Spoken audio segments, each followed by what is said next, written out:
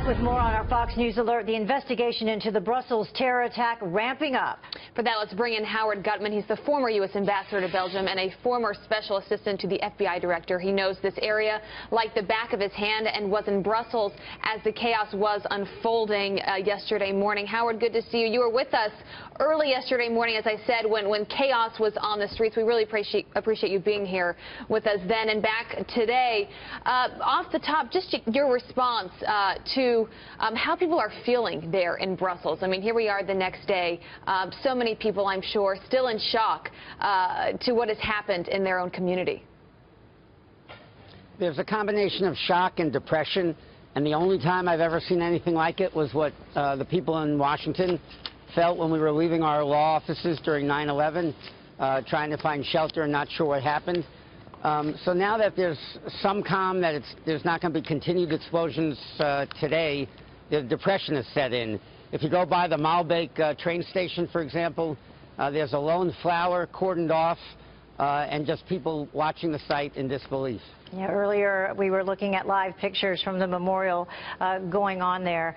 Um, Mr. Ambassador, there's been some additional information that has come in today, the latest information that two of these suspects were brothers and then the third, third suspect that they're still looking for is directly linked to the Paris attack. Um, with your experience there, how large do you believe this cell to be?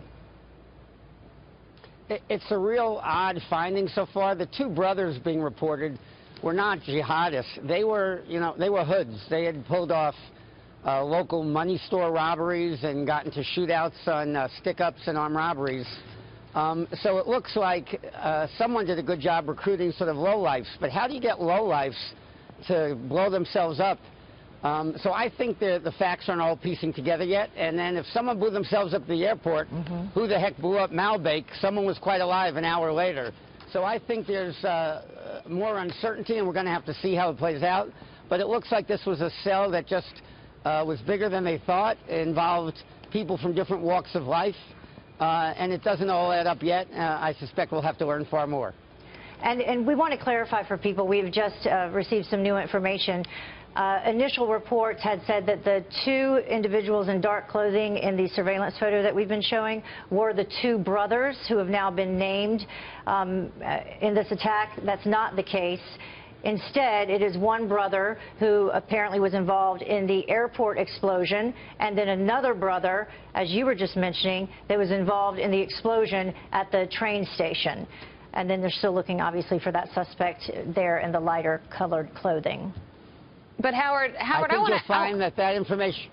I wanted to ask you too. I would have you. Uh, because we know, as we learn more about the suspects, as Heather was just talking about, um, new details coming in there from the Molenbeek community. I mean, you know this community well. Help break this down. Help us understand this community and why we're seeing such terror coming out of it.